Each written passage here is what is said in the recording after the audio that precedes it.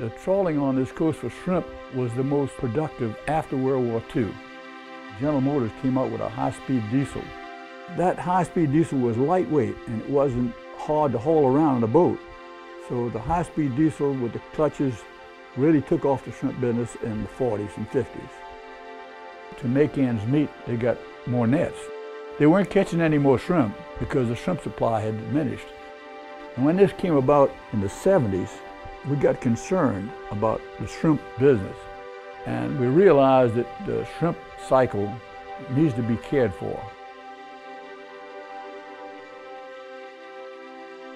One of the things you learn about early on is called the tragedy of the commons. And the concept goes back to grazing lands in Old England, and they had common grazing areas, and all the farmers would let their cows graze there.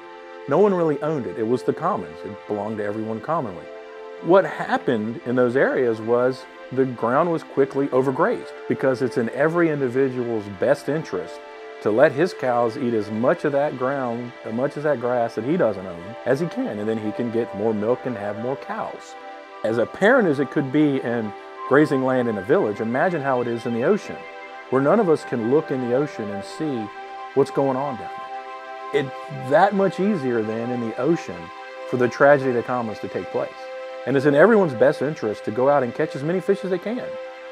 The individuals that are just acting as we expect when they go out on their own and take too many fish. You need something that solves that. And the tragedy commons, the only way you solve that is by regulations that affect everyone. Fish will come back in time. If you leave them alone, they'll come back. It's been a good thing. It's been a tough nut to swallow.